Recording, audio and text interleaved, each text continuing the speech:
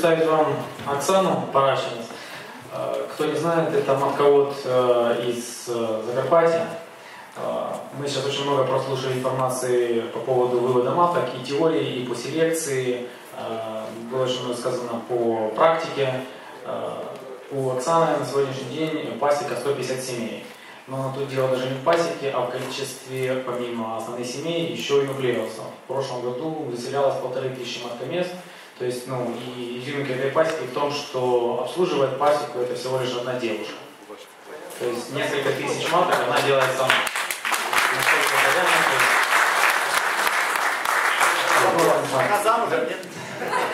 Я передаю слово Оксане. Здравствуйте. Ну, представлюсь еще раз, меня зовут Оксана, фамилия Паращинец. Ну, как бы я дочь э, Василия Юрьевича Паращинца, то есть э, чем мы известны?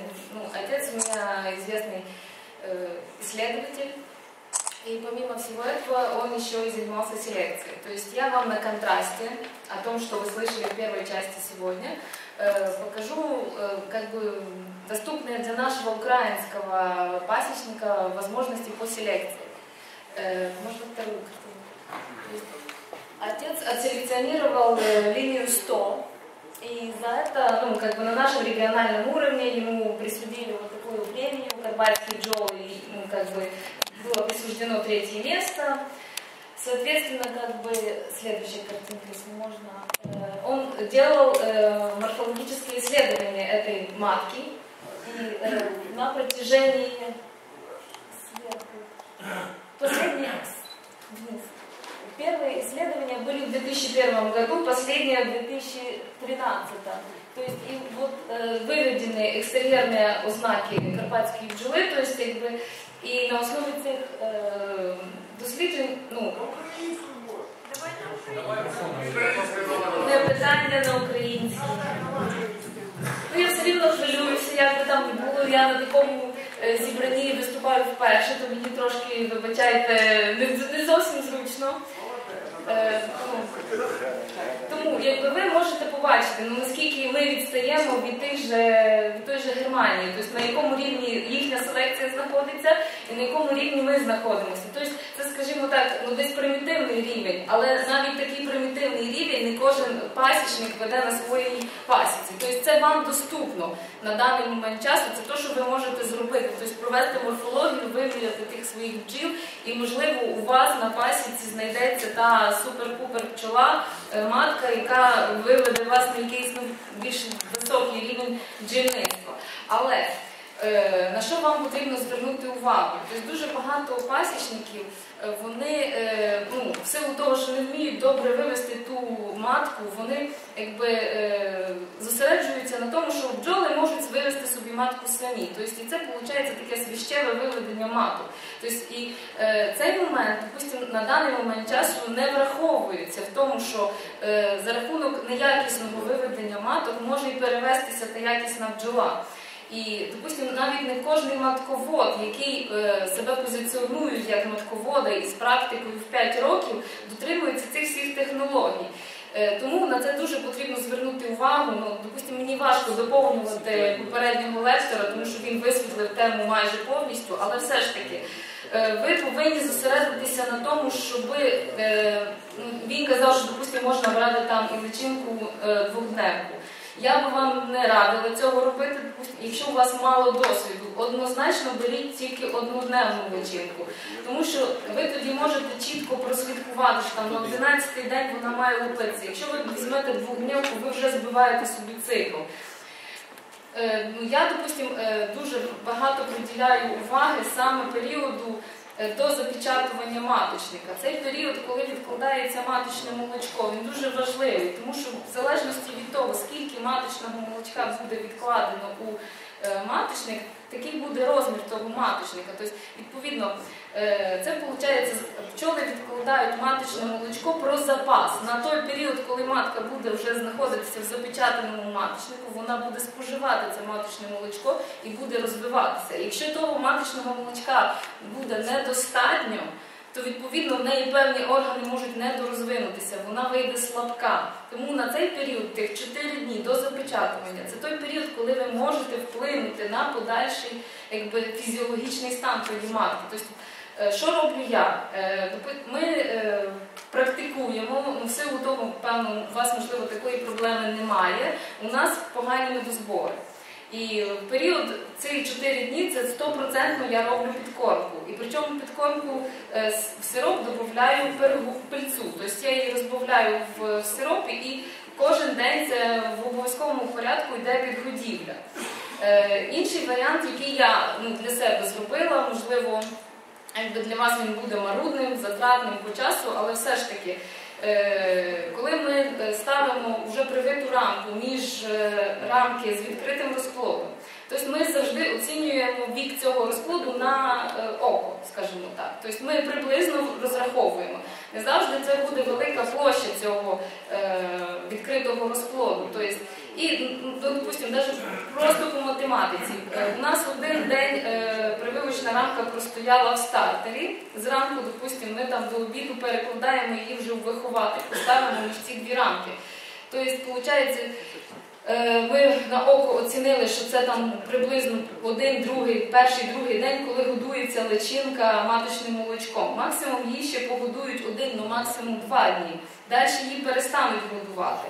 А нам, наші матки, по- потрібно, щоб іще два дня годувалися маточним молочком, тому що від цього буде залежати, наскільки вона буде сильна. То я на третій день змінюю цю рамку іще раз на таку ж з відкритим розплодом, яку я оцінюю на око, скажімо так, що там знову вже буде ця личинка одно-двохдневна. Тобто таким чином я доб- добиваюся того, що у мене в маточнику знаходиться досить велика кількість цього маточного молочка, яка відкладається про запас на той період, коли вона буде вже в запечатаному стані, і коли я вже нічого туди додати не можу. Тобто ці чотири дні для мене є максимально важливими, е, на які я можу повпливати на ту е, ну, майбутню матку, тому що. е, Який би у мене не був там репродуктивний, чистопородний цей матеріал, якщо я візьму неякісну личинку і неякісно її бджоли виховують, то з неї якісний матеріал ну, не вийде ніколи. Тобто е, чистопородність, допустимо, це 50% роботи, другі 50% роботи це вже саме дотримання технології виведення тої матки. І там, виходить, по суті справи, тільки ці 4 дні є у нас, коли ми можемо вплинути на е, подальший стан цієї матки. Е, ну, потім, уже, допустимо, коли маточник запечатаний, це вже йдуть е, суто маніпуляції, скажімо так. Тобто вже там вплинути на щось конкретно ми не можемо. Тому ну, я якби, ну, зосереджую вашу увагу, ви можете це брати до уваги, можете не брати до уваги. Ну, але якби, навіть е, якщо прочитати книжку е, Пасіка, це Поліщука, Гайдара, і вони так само там от, от цитата. Тим не менше, сучасний спосіб отримання личинок, ну мається на увазі сот емпера, може гарантувати отримання висо- високоякісних маток тільки в сукупності з якісним рівнем годування лічинок сім'ями виховательками. Тобто, якщо це в сукупності поєднати, тільки тоді ми можемо отримати щось на виході якісне. Якщо ми на певному етапі якби, ну, робимо якісь такі помилки, то відповідний результат буде такий же. Ну, в принципі, скажімо так, на даний момент часу у мене, як вже Ігор сказав, 150 сімей, тобто в цьому році я збільшила кількість е, сімей, але зменшила кількість е, нуклеусів. Ну, в силу того, що якби в мене нема на даний момент часу помічника, ми з мамою вдвох працюємо, тобто я на даний момент часу обслуговую там від 1000 до 1200 маточників. Е, Маткоміс мається в виду. Ну, в принципі, і все. Росія. Прошу, Росія бере. бере. Будь ласка. Скажіть, будь ласка. Та не треба, я так вирішую.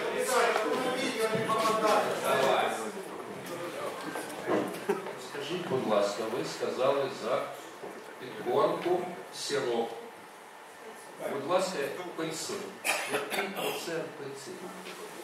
Який процент пильцину? Там виходить 300-500 грам е. Ну, е, це береться свіжа пильця, яка зібрана ну, або заморожена. Який процент? Ну так, 20, 10, 15, скільки? На літр. Ну, на літр це буде десь е, 15%.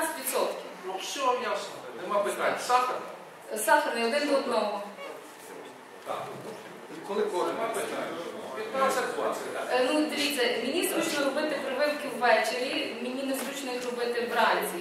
Тобто я, е, у мене процес підлаштований під те, що я прививки роблю з вечора. Відповідно, я привила і відразу ж там через годину-дві покормила. І количество Э, кожен. Нужно ли ограничивать э, матку в яйцеклавке перед прививкой?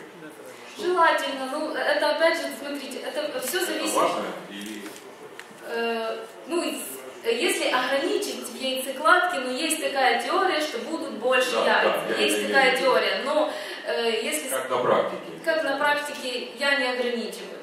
Я ограничиваю. Потому что еще- ну, кто-то взвешивал эти Да, яйца. еще вопрос. Э, Используете вы стартер? И через сколько вы из стартера передаете лечить в воспитание? Опять же, какое время? Э, Получается, что прививку я делаю вечером, то есть я с утра проверяю прием, и там практически в течение до обеда я уже разбросаю по воспиталкам. То есть не больше суток. Даже полсутки, это не будет даже сутки. Спасибо. Скажите, пожалуйста, вот здесь вот... Подождите, там микрофон. Здесь вы со стартера, ну, вечером стартер, утром вы воспитал. И вот там раньше говорили, я еще раз, э, что-то, ну, Уже в воспиталке, делать. в воспиталке это получается. То есть стартер, по сути дела, это просто молодая пчела, которая поставлена в условия безматочного состояния. Мы ее штучно привели к тому, что она должна принять эту личинку. То есть, соответственно, прием будет намного выше, чем в обычной на напив э, осиротилии Да выховалке. нет, нет, вы не поняли вопрос. Я поняла. Вы, вы говорили, Я что говорю. стартер, потом воспиталка, и Потом сказали воспиталка. потом еще третью рамку, что-то. На третий день, А. получается, на третий день я меняю рамки, э, между которыми стоит у меня рамка с личинкой. В самой воспиталке. То есть это я делаю только э, с целью того, Поменять чтобы молодую пчелу, да? больше маточного молочка. Возле прививочной рамки поменять молодую пчелу, да? Не- Нет. После прививочной рамки меняем рамку с открытым расплодом. Потому что мы первый раз, допустим, забрали рамку с воспиталки, э, с- со стартера ставим воспиталку, правильно? Рамку. Мы ее ставим между двух рамок с открытым расплодом. На глаз оценяем, что это должен быть расплод 1-2 дня, который кормится маточным молочком с целью привлечь эм, пчел-воспитательниц, чтобы они еще плюс кормили и наши личинки, правильно? Но мы на глаз оценили, то есть и максимум вот эти личинки будут кормиться маточным молочком, ну, максимум там один, ну, дня. А наши маточники еще два дня будут открытые. То есть и для того, чтобы еще больше привлечь туда э, пчелы, э, как бы у них вырабатывалось маточное молочко, я меняю рамку еще раз. Ну, это как бы затратно по времени. Ну, вот, подождите. Что происходит? Это понятно, да, я уже понял. Что происходит? Мы меняем, молодая пчела кормит э, открытый расплод. То есть мы меняем практически молодую пчелу просто на голову. Да, Ну, это молодую как-то пчелу, соседи, а, скажем потому так. что я рамку струшиваю. Я струшиваю рамку. Ну, как вы понимаете, я просто меняю рамку. Потому что если у меня э, личинка, которая находилась возле при- прививочной рамки, личинка выросла, и ее уже не кормят маточным молочком, а мне нужно, чтобы дальше продолжали кормить личинку, которая будет идти на матку. Я просто еще раз делаю ту же самую манипуляцию. как это практически происходит? То есть вот, вот стояла, есть место, у молодая вот сидит она вот здесь. Она не переходит с рамки на рамку, вот здесь. Ну, я струсила рамку, поменяла другую, и все. Переставляете просто рамку прививочную в другое место. Не переставляю рамку.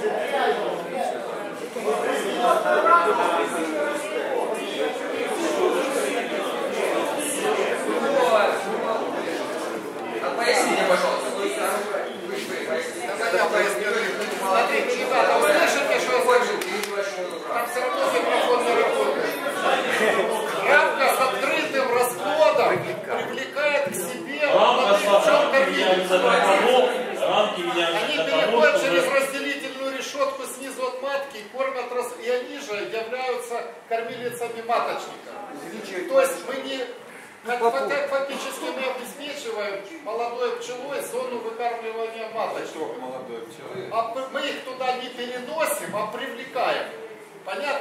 Это делается для того, чтобы сконцентрировать максимальное количество молодой пчелы, которая может выдавать маточное молочко и может кормить в одной зоне. В зоне для того, привлекается для того, чтобы максимально наполнить маточным молочком маточный гнит.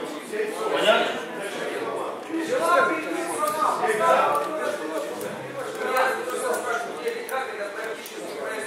Просто рамку и поставили другую. А. Оксана, ты объясни, как ты работаешь, у тебя матка идет э, за заставной, частичное осиротение, да? Да, Ты, я... получается, с гнезда с матки, слышишь, э, внимательно, у нее лежат разделен пополам. Э, половина у нее идет на стартер, половина там идет матка. Э, здесь перегородка с частичным осиротением, то есть небольшое окно с разделительной решеткой. Получается, она элементарно, ей не надо корпуса носить, если это в корпусной системе. Она берет там, где работает матка, берет молодой расплод, перемещает в стартер, а тот, что уже более, более старший расплод, она перемещает обратно к матке. То есть вот эта манипуляция позволяет привлечь пчелу. Просто вот. По сути дела, вы эту манипуляцию делаете изначально. Как бы вы ставите рамку прививочную между двух рамок с открытым расплодом один-два дня. А я эту манипуляцию просто проделываю дважды. Я дважды заменяю вот эти рамки. Только с той целью, чтобы у меня э, пчелы отложили большее количество маточного молочка. Потому что, по сути это дела, если так разобраться, то э, ну вот почему считаются свящевые матки э, плохими? Только потому, что пчелы их выводят с личинок, ну, то, что у них есть в наявности. Как бы, и они уже по срокам, допустим, не успевают отложить туда много маточного молочка, потому что сроки их поджимают, им нужно их запечатывать. Поэтому там получается мало маточного молочка, маточник, соответственно, маленький, потому что, по сути дела, если так разобраться, то э, размер маточника, он будет зависеть от количества отложенного там маточного молочка, плюс сверху, сверху пчелы настраивают там полтора-два сантиметра э, с расчетом на то, что матка вырастет, то есть ее тело вырастет. Ну, как бы если там маточного молочка мало, и нету смысла строить большой маточник. Ну, Поэтому получается, что- что священные матки считаются плохими за счет того, что они мало имеют корма для нормального развития. Ну, а наша цель получить качественную, хорошо развитую матку. То есть поэтому как бы, вот я, допустим, концентрирую свое внимание именно на вот этот период 4 дня. Все, по сути. По селекции. По, по селекции, что сказать по селекции? Ну, у тебя есть э, твои семьи там по линии 100, как ты их э, содержишь, маток этих? Ну, Как э, они выводятся? Скажем так, ну, чем отличается наша селекция, если это уже, скажем, после сегодняшнего дня можно назвать селекцией? Э,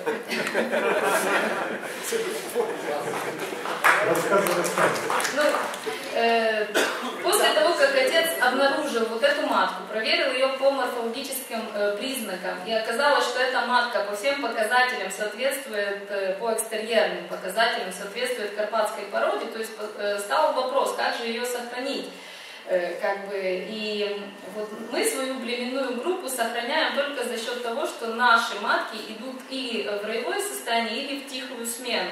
То есть получается, что матка э, как бы преднамеренно откладывает яйцо, то есть пчелы готовятся к этому. То есть если даже вы э, не занимаетесь э, матководным делом, вы можете увидеть разницу между священным маточником и маточником, который заложен специально пчелами. То есть это будет совсем другого размера, совсем э, с другим количеством маточного молочка. Соответственно, э, ну, как бы, смотря на эту таблицу, допустим, под 2013 год мы делали экстерьер, ну, проверку наших пчел по экстерьерным признакам, то есть мы можем увидеть, что эти признаки передавались стойко, как бы от поколения в поколение. На данный момент времени, вот на последнем нашем собрании матководов я вступила в эту организацию, то есть и сейчас передо мной стоит задача подтвердить, что наша линия сохранилась, как бы сейчас ну, нужно будет сделать вот эти все пробы, да, да, то есть, как бы. Ну, я, допустим, лично я считаю, что все-таки, что бы кто ни говорил, но как бы если пчелы не, не способны передавать э, свои признаки положительно из поколения в поколение, то мне кажется, что тогда в принципе можно ну, как бы сказать, что в принципе все породы у нас уже перевелись. Ну, как бы изначально мы же эти пчелы взяли откуда-то, нет, и они изначально имели эти по- позитивные качества, и каким-то образом они их передавали без нашего какого-то присутствия. Можно вопрос? Скажите, пожалуйста, вы сейчас очень интересный подняли вопрос. Вы сказали, что вы поддерживаете значит, уровень э, своей значит, генетики помощью роения и тихой смены. Скажите, пожалуйста, как вы создаете вот этот принцип неполноценности в семье, именно когда создаете тихую замену?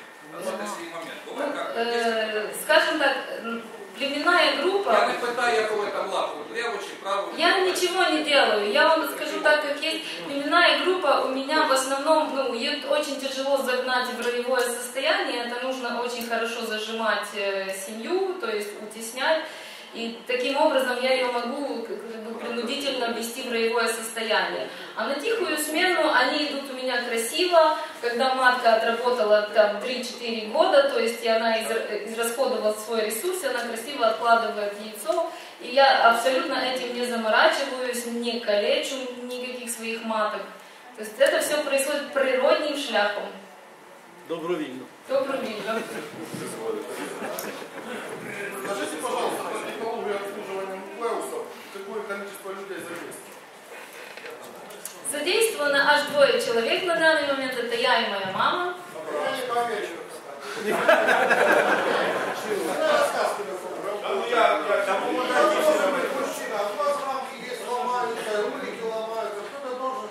Ну, если у меня все ульи сделал отец. Как бы вы можете увидеть все нуклеусы, все ульи на пасеке сделал отец, они очень хорошего качества. Э, то есть они у меня не ломаются. А я верю. Я верю. Я верю. Шановні колеги, Я верю. Так не вопрос.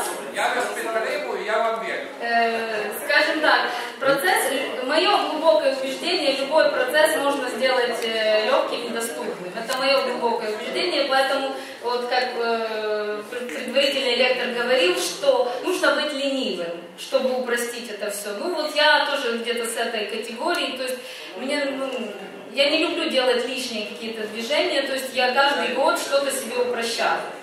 Ну, и я работаю по схеме, я работаю по планированию, то есть, как бы, это, в принципе, может вести любой матковод, потому что вы имеете базу клиентов прошлого года, вы можете, э, как бы, посмотреть, сколько вы вывели маток в прошлом году, сколько вы их реализовали, то есть вы можете спрогнозировать количество маток, которые вы, ну, как будто вы реализуете на следующий год. То есть, соответственно, от этого плясать, сколько в день мне нужно вывести этих маточников, и единственное обязательное условие, которое ну, я для себя, я не могу себе э, разрешить э, делать э, плохие прививки. То есть поэтому я себя страхую. У меня, если я делаю прививку, то в любом случае у меня должен быть выход 200 маточников. Допустим, у меня там рассчитано, что у меня 40 воспиталок работает, то есть я их загружаю по э, 10 каждую воспиталку ставлю максимум 20 маточников, в зависимости от погодных условий, конечно же. То есть это может быть и 15. Потому что у меня цель э, сохранить свою репутацию, наработанную годами. Поэтому, э, допустим, я не гонюсь за количеством, я гонюсь за качеством. Маточник должен быть крупный, матка должна быть нормально развитая, то есть чтобы клиент ко мне обратился еще раз. Поэтому я себе не разрешаю, допустим, делать плохие прививки. Э, Я подстраховываюсь, э, у меня есть 8 стар- стартеров, то есть я, допустим, когда закладываю прививку, то я делаю 8 рамок на стартер, и плюс у меня еще 10, допустим, воспиталок. И в эти воспиталки я тоже ложу рамки с прививочной. То есть я, по сути дела, делаю 18 рамок. Воспиталка сколько приняла, столько приняла, стартер стопудово примет хорошо. То есть остальное я выравниваю, выбираю лучшее. То есть и за счет этого как бы Э, за счет вот такой как бы, системы подстрахования можно выйти на какое-то планирование. Ну, это, в принципе, все возможно, и ничего сверхъестественного в этом нет. Это как в любой сфере деятельности. Маточник это... А какую рамку вы формируете нуклеусы? Какое количество? И как? С расплодом, без расплода? У меня, у меня э, нуклеусы двух типов, как бы это все конструкция отца. Э, вот то, что вы видите, это большее, э, как бы оно по размерам там э, сантиметр, сантиметр я вам не скажу, это приблизительно одна шестая рамки Дадана, то есть там получается две рамочки идут. В отделениях там может быть и трехместные, и четырехместные мат, нуклеусы. Эти нуклеусы, они более долгоиграющие, но тут нужно больше пчелы. То есть я их заряжаю, одна рамка отстроенная прошлогодняя, одна рамка с вощиной. То есть, ну, какое-то количество я отбраковываю рамок, это однозначно, там, ну, по-другому не получается. То есть, по сути дела, это идет на суш, э, заряжаю. Ну, в этом году, допустим, я себе упростила систему, я не отстаиваю пчелу там три дня в пакете, я ее сегодня струсила вечером, с утра я их уже рассыплю по нуклеусах, и уже нуклеусы сразу расставляю по местам, э, и потому что я тогда имею доступ покормить их. То есть с утра, допустим, утром там 5-6 часов утра можно встать, пока прохладно, то есть пчела не вылазит, не выкучивается, то есть ее... А слет? Э, они закрыты. Они а. закрыты три дня, просто это у меня есть возможность их покормить. Через три дня я им подставляю, я убрала э, процесс э, отбора маточника в, в клеточку, то есть чтобы матка вышла, я это выкинула. Ну, мне так легче. Я сразу или на третий день подставляю маточник, или же сразу при загрузке, если у меня по срокам подходит, сразу маточник. То есть и если сравнить по количеству принятых маток, допустим, когда я ложила неплодку и когда маточник, с маточником мне больше нравится, то есть я останавливаюсь на этом процессе. Можно вопрос? Смотрите, у вас густо стоят нуклеусы. Взлетов, перелетов или потерь нету при этом? Все как у всех. А конкретно? А конкретно? Ну, конкретно все бывает. Понимаете, ну, э, скажем так, да, густо, ничего не скажу. То есть мне, допустим, нужно обязательно ставить разделительные решетки на семьи воспитательницы, потому что бывают блуждающие вот эти матки, она первым делом прется в основную семью. То есть, э, чтобы не терять э, как бы уже привитые маточники, приходится ставить разделительные. А так, в принципе, как бы ну, э, я не считала, честно вам скажу, чтобы, знаете, вот так ввести какую-то статистику, сколько слетело, сколько мне нужно там потерялось. У меня на это просто нет времени. Ну, э, скажем так, в этом году э, я сама с мамой мы вывели две с половиной тысячи маток. Не знаю, много это, мало. 6 соток, но там есть э, дом, и ну, получается на четырех сотках. Но это не, это одна из основных пасек, то есть здесь еще две. Скажите, а почему вы маточку не Упаковки или просто так прием? Э, так, э, ну, первое, лень. Первое, что сыграло, мне нужно, допустим, для каждого, чтобы ну, каждый маточник я э, отбирала в клеточку Титова. Каждую клеточку Титова мне нужно наполнить канди и эту клеточку собрать.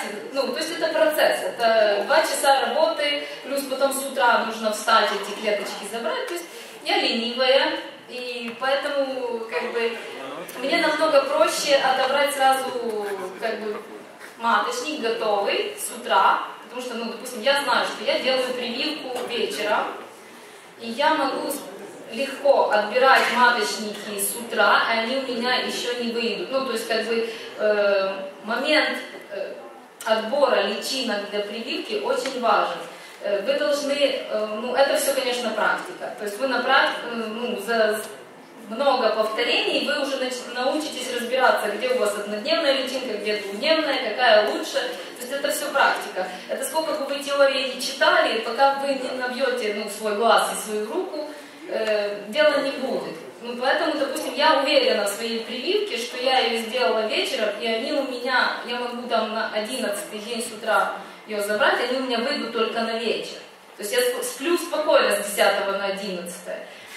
Э, ну, и поэтому как бы я с утра делаю заряд, то есть э, загружаю нуклеусы, поэтому получается, что я с утра отбираю маточники и сразу их могу, если по срокам они у меня подходят. Если вдруг у меня получилось так, что у меня появилась свободная пчела, а маточник еще не созрел, то я просто пчелу загружаю сразу же на сушь, подкармливаю, они три дня у меня в, ну, в нуклеусе отсиживаются, потом я им по сроку подставляю маточник, получается нормально.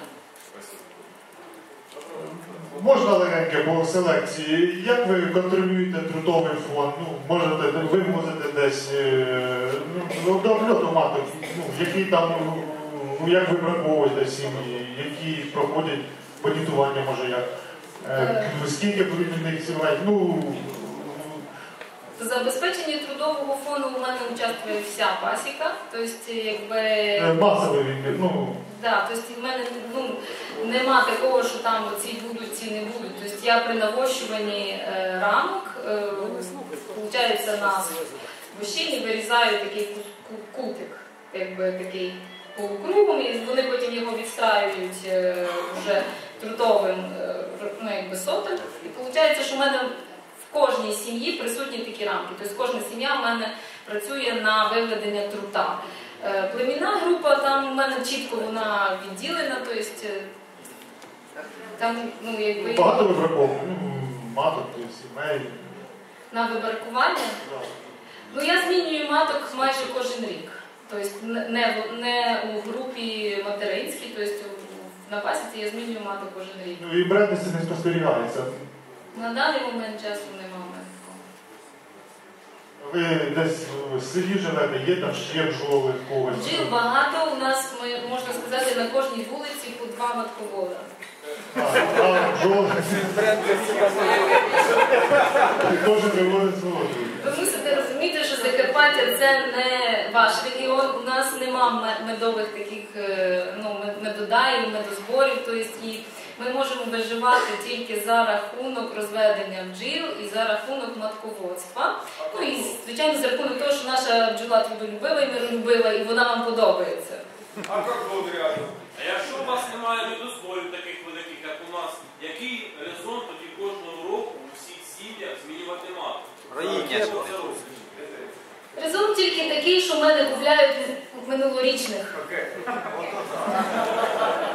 Коли ви продаєте? А є якийсь підлив, злив іншої крові, наприклад, ви ну, не, не, не Ні, я е, розумієте, через те, що я себе позиціоную як е, матковода, який виводить лінію 100, я не можу приливати якусь там бакфасти, карніки і те все. Ну, в вашому селі своя спільнота і вже там вся, вся ваша лінія, да, можна сказати, чи, чи як? Ну, Ну, скажімо так, як би ми там не називалися, бо в нас все рівно переважає Карпатянка. Розумієте? А уже хто який там е, у себе ну, знайшов. фонд не іменно 100. Трудно, трудовий фонд може бути будь-який. Ну, але Карпатянка, тому що на, ну, невигідно нам в Закарпатті тримати інших якихось маток, тому що наші користуються попитом. Це можливо десь є такі одиниці пасічники, які ну, не займаються, допустимо, там. Е, розведенням бджіл, продажем пакетів, і вони там якби шукають себе, що там є краще. Я не можу розписатися за всіх. Ну, Але за тих, які, допустимо, приходять до нас на зібрання пасічників, і ті, які серйозно займаються, то вони ну, недоцільно завозити якісь інші бджоли для того, щоб ну, зіпсувати те, що є. А вы зимуете на улице? Да. И нуклеус? Я нуклеусы не зимую. Еще такой вопрос. Есть ли у вас практика э, сохранения запасных маток на зиму? Именно создание банка маток? Если есть какая-то технология, можете... Э, нету. Э, и честно скажу, что из-за того, что ну, как бы наши матки по каким-то там чудодейственным причинам пользуются спросом, то, э, в принципе, я распродаю все под ноль. Даже, ну, как бы, нет у меня такой надобности вот этим заморачиваться. Как бы. И при том, что, допустим, потом, э, если вдруг там есть клиенты, которые покупают прошлогодние матки, то я их спокойно могу продать с основных семей себе вывести новых. То есть и как бы еще какие-то лишние движения делать над этими процессами, созданием этих банков. Ну, у меня на это нет спроса. То есть это единичные случаи, когда звонит там клиент где-то посредине там ранней весны и говорит, ой, у меня пропало, пожалуйста, срочно мне вышлите. То есть мне тогда проще объединить семью и выслать ему прошлогоднюю матку. То есть это, ну,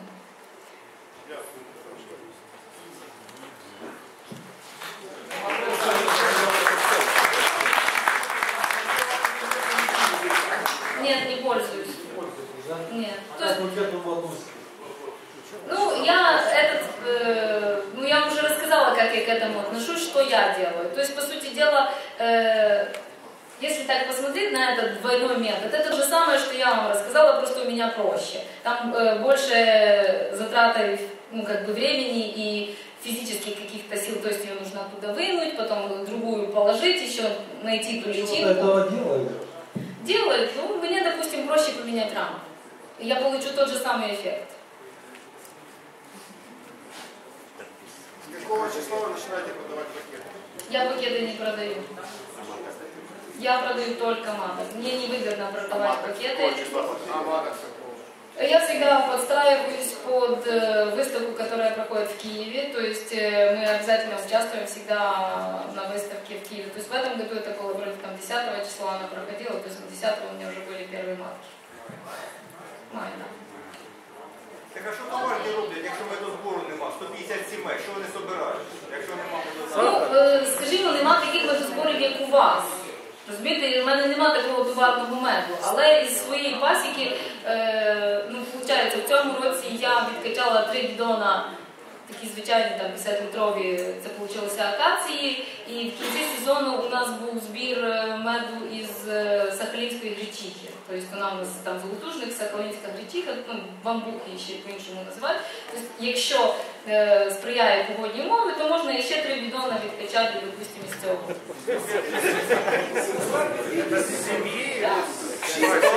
Ну ви, ви врахуйте, да. А скільки ви Друзі, зрозумійте, коли ми були там, там жовта земля, там не ті зовсім умови. Ми живемо дуже в добрих умовах. То у вас чай з медом. Це не, не, можна, не можна порівнювати те, що в їх там в Закарпатті, і те, що в нас. Хто там не був, то просто цього не зрозуміє. Оксана, а, такой вопрос.